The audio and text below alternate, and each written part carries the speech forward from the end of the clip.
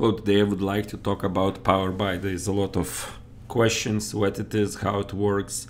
So we'll try to do the not short but uh, quite good overview discussing uh, what it is and what it does. Um, so the goal would be to talk uh, about uh, uh, what value we get uh, and what is this environment called 3D Experience Platform we get access to once we commit CATIA Magic uh, Cameo project uh, uh, using Power'By to 3D Experience platform.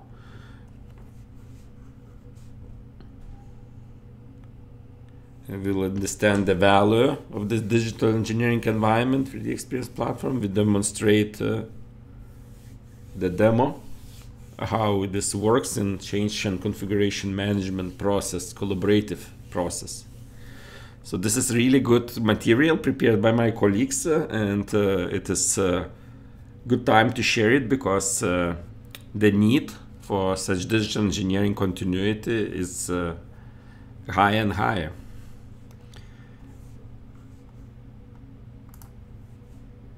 As you know, uh, here we have our um, referential for CATIA Magic Cameo portfolio. So this is traditional Cameo portfolio. As you can see here, just CATIA Magic. Here is some toolkit in Cameo portfolio. Here is uh, Magic Model Analysis in CATIA Magic portfolio. So two portfolios, right? Uh, so-called legacy, uh, traditional old portfolio, and then the new CATIA Magic. Uh, this uh, both of those portfolios are supported, but um, here we see also collaboration, uh, teamwork Cloud Cameo Collaborator and Magic Collaboration Studio. Uh, and here we see Power'By as alternative for Teamwork Cloud. It's called Collaborative Designer for CATIA Magic. And this allows us to connect the data easiest way to 3D Experience Platform, digital engineering environment, 3D Experience Platform through the traditional interface committing project directly instead of Teamwork Cloud to the 3D Experience platform.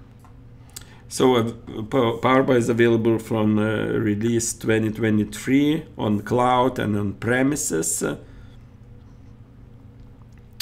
Uh, this is in addition to CATIA Magic license, so you need to have this license. It works uh, with the CATIA Magic uh, new portfolio and Cameo portfolio. Uh, the value to use the cloud deployment of uh, 3D Experience platform would be to have uh, it automatically updated so you will always use the latest release. You would not need to manage on which version you are.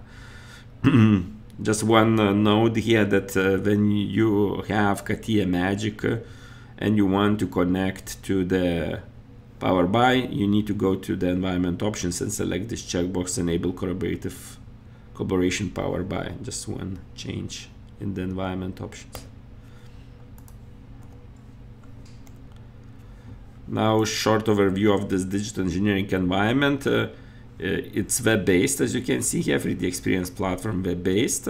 Here you can access uh, all the apps here through this compass. Doesn't matter where you will click except the center center is for simulation and uh, all apps are grouped by roles, for example, like system engineering and so on, because it's just easier to find those apps like that. Then here we have a dashboard. So the dashboard is important because you can uh, uh create the tabs based on your engineering process and then drag those apps and arrange by tabs and tabs could be custom with custom names so it creates really nice dashboards for different roles in the organization that they would not need to say, okay, I need to learn everything here. Normally, they would just go open the dashboard and start working based on the engineering process. And data can be found here. So through search, you search for the data and you drag and drop into right uh, tab into the right application. And that's how you get access to the data, which was not yet in that uh, application. If it was already in the application, then you will get that more things here like uh, uh, free, uh, like uh, file storage, like communication, notification, uh, more advanced search, and so on. Now a few concepts uh, of um, Power'By and uh, what we would use for the change and configuration management. So we use uh, 3D dashboards to arrange uh, this app, 3D dash dashboards to arrange the uh, other applications based on the roles organization. We use uh, Swym in order to communicate in like Facebook manner. We use user groups to organize the audience based on the interest. We use uh, Drive, 3D Drive for the file storage and share the files. We use tasks, collaborative tasks to assign the tasks, same as in uh, other task management systems. Life cycle is used to propagate life cycle from you know private to in work to released to uh, so on depends on the item and then uh, 3D space is actually uh, ability to isolate uh, part of the server, 3D experience platform server for specific uh, projects uh, and groups uh, that they would not see other projects like in case of one project they would just have this single collab space 3d space and as you can see here one of the apps is designed with CATIA Magic. That's the app.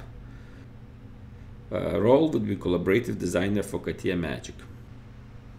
Now, when we work with the uh, in the Power'By, so you just need to go to 3D Experience platform, log in, and from that point, you, all the collaborate uh, traditional menu menu in CATIA Magic would uh, and Cameo would uh, you would use for Teamwork Cloud would work for Power'By too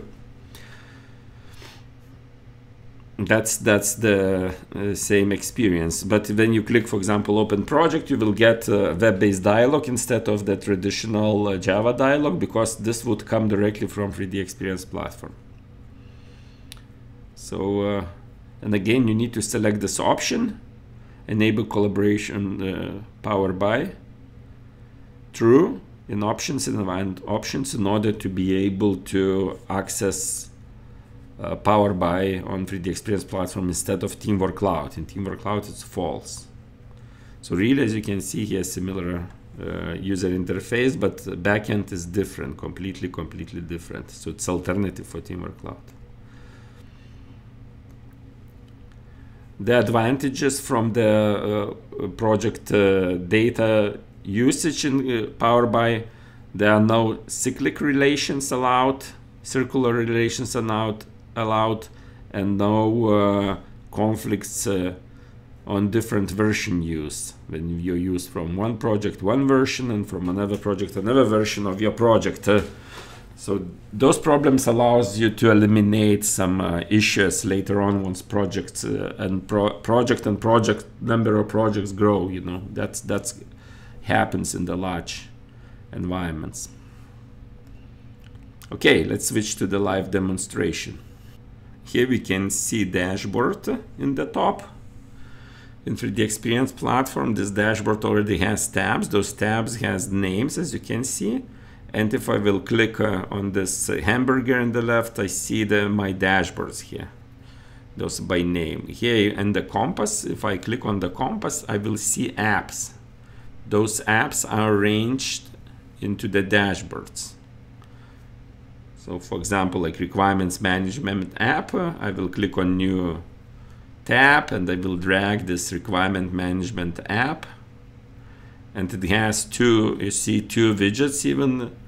Uh, on one widget it shows all requirements uh, for the, with all the properties for the, you know, lifecycle management and so on. In another widget it shows uh, just text-based requirements, editing same requirements. Here we see another tab with the 3D Play widget allowing to see Cameo Collaborator new capability to publish when you are in Power'By directly to a 3D Experience platform. And in a single button click you can get the model as you can see here. And uh, in this demonstration we will go through this scenario. This will be OEM on the right side collaboration scenario with the supplier when OEM will create the project and then we will share this project uh, in the common space from private space in common space and then give access to that project uh, from supplier perspective in order to use that project as used project in his own project to be able to access the required data. As you can see here we have aircraft system project. This project uh, is published uh, here using Power'By uh, and we can review all the diagrams, uh, we can uh, click, everything is active. Uh, this, this is different viewer than Cameo Collaborator. This is system traceability viewer. This viewer allows you to actually create traceability to element level granularity. And you will see this traceability next. So this is one of the advantages here. When you have the model published, uh, added to the 3D Experience platform, you can start tracing to other models. That's what we do here in this first view. And then we go drill deeper in order to have element level traceability to the design, let's say. This design traceability would be to electrical design, to mechanical design, engineering bill of materials, you can see here, landing gear, and uh, other parts are propagated. If I select one part, like landing gear, I immediately see everything what traces uh, in uh, the functional analysis and requirements in the 3D model. As you can see, if I select on those parts, I see in the viewer what uh, in 3D viewer navigation uh, application, I see what I'm selecting in 3D. Now here in this traceability view, we can also create nodes. You can create comments and this enables collaboration. As you saw here I clicked on this book in the top. That's how I can see here that uh, I have some uh, comments created. And here how to create them. You know you click on that pencil you click on the plus and you just type uh, type uh, comment uh, uh, in order that someone would react to it or just for yourself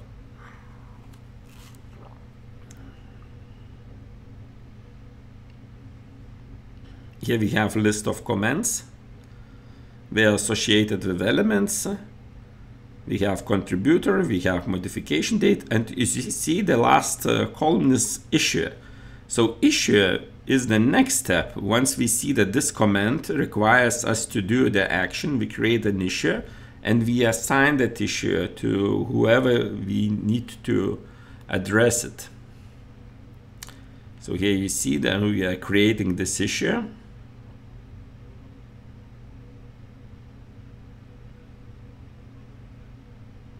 and now we have new issue created. So there's another tab with the specific app, Issues Management app, where we see issues and those issues, they have workflow, they have other properties, and we have elements attached under them. You see, we have those elements because they were originated from those elements, and then we can add more elements in order to have uh, issue com with complete data set to address.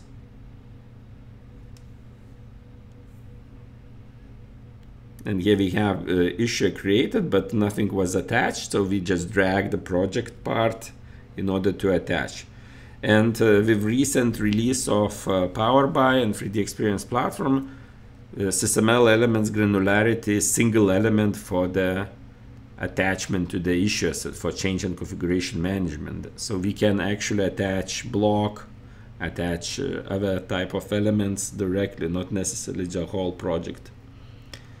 And here you see I can change the maturity of issue from in work to work in order to start collaborating, to start executing on it. And uh, my execution was that I created new change action. So from issue, I can create change action. And this change action requires now someone else likely. We can assign who here this new change action and the app is change execution which is related to change to the data and propagation to the new revision. So here we have now uh, change action. And here we see approver 0, assignee 0, owner 1, informed users 1. So we can assign all of those who needs to execute and be informed on change action.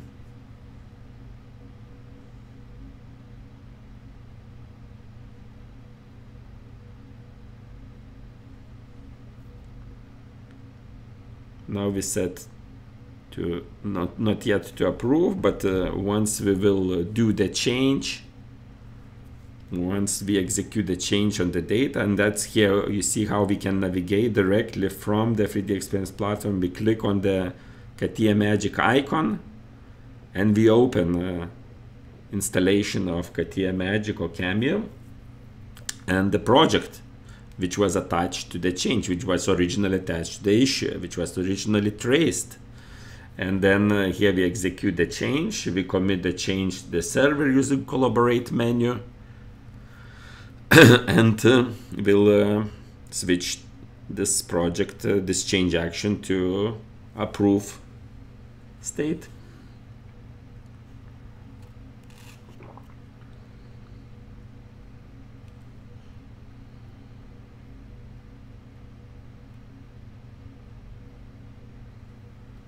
So here we are committing.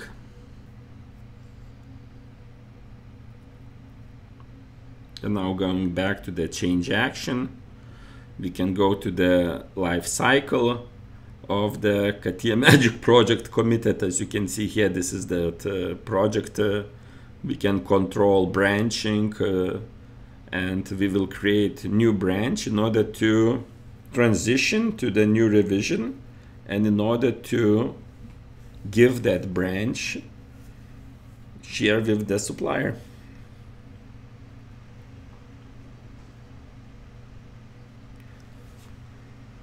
now we are switching uh, to the change action and we will transition that change action state to the approved in approval not to approve but in approval in order to get approval for the change So uh, someone who we uh, assigned as approval will get notification. Notifications can be received in this web interface. They can receive by email, by other different manners. And here we have now we have task to approve. We click, uh, we can open the task.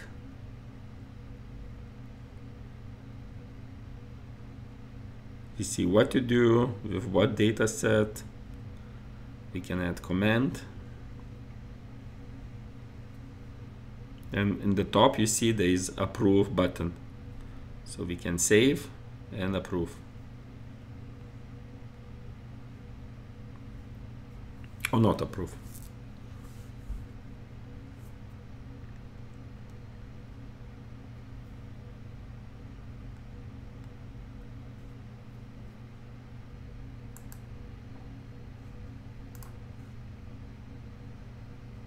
Now we are going back to the life cycle and here we will branch and will uh, give access to the version of uh, project, CATIA Magic project uh, to share with the supplier. Now we are ready because now it is approved and we are changing access rights to access it by the common area. You see here common leader.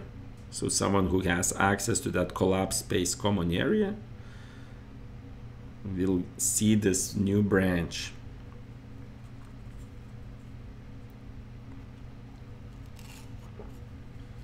And they will be able to use this project as a used project in the project in order to do uh, architecture required of subsystem and then trace back to the Uh, to the requirements they got. So that was short overview. Hope it was helpful. Let me know if any questions.